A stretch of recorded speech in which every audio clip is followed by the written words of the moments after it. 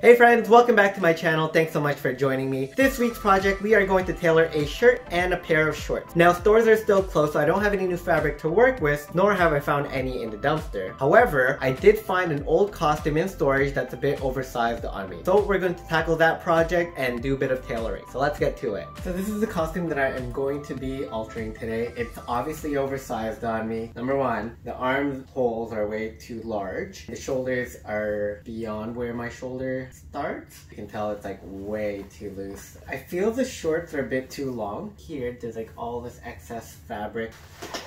First time that I'm using Carl 2.0 and I'm really excited. I'm gonna flip this inside out and start pinning it to my measurements. Lederhosen literally translates as leather pants in Germany. Nope, different type of leather pants. These pants were said to have emerged in the Alpine regions of Germany and Austria as trousers of the working peasant community. Nowadays, we recognize these as the outfit of choice for Oktoberfest. I start by marking where my shoulders end to bring in the sleeves. Then, I pin along the side so it's not too baggy and is a bit more fitted. Make sure to leave a bit of space so that you can move freely while wearing the shirt. Once the pins are in place, give it a try to make sure that you feel comfortable and that it's not too tight.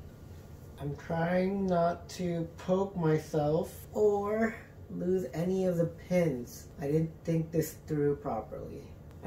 Uh, so I couldn't decide what I wanted to do. Was I wanted to cut the sleeves or seam reap it?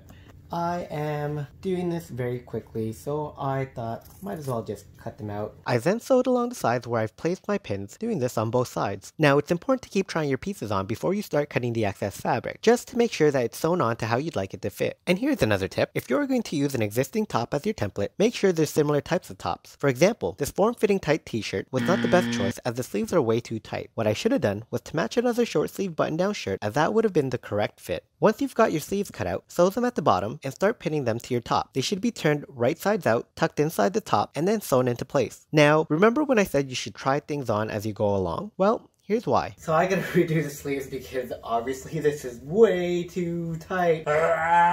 Yeah, no, it's not happening. So I'm gonna have to add some scraps. Again, this is just a costume. I'm just gonna add some scraps to try and extend this so that it's not cutting off the circulation to my arm. So what I did was I sewed on another panel into the sleeve just to make it much bigger. I'm gonna sew this on to the rest of the top. Now that I've got that in place, I have to figure out how I'm going to shorten these shorts because they were a bit long and also a bit loose down over here. But at the same time, there's an added challenge. This embroidery all over it, I don't want to lose and I don't want to alter and distort it. So I gotta figure out how to do this. I'm gonna deconstruct it and go through each of the seams to see how much of it I can actually take out. As I'm ripping out the seams, I realized that this is sewn on separately on the front and the back of the waistband. So when I sew it back in place, I'm going to repeat the same process so that the raw edges are hidden on the front side of the bottoms. Ta-da! Oh, that took a long time to do. So now that we have this taken off, we're going to take this down by about an inch and re-sew this back on. I made my markings about an inch down from the top of the shorts, pinned on the waistband, and then sewed the front part in place. Now that it's sewn in place, I gotta trim back the excess fabric here so that I can tuck this in and then sew it all down together. Make sure I'm cutting the right piece. Here we go, snip, snip. So once it's cut, we just tuck everything underneath here like that. Once it's tucked in, just sew across the bottom here all throughout.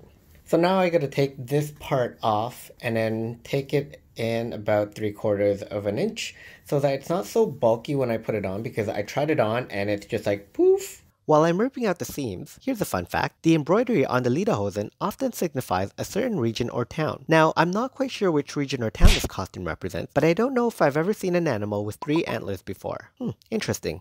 I am guesstimating as usual. I hope that is three quarters of an inch.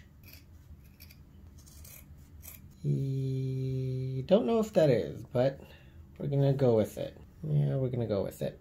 I'm gonna sew this all in place. Now that's all in place, I now have to figure out the harness, how I'm going to put this on and alter it because I gotta sew these little stitch lines on it to make it look consistent.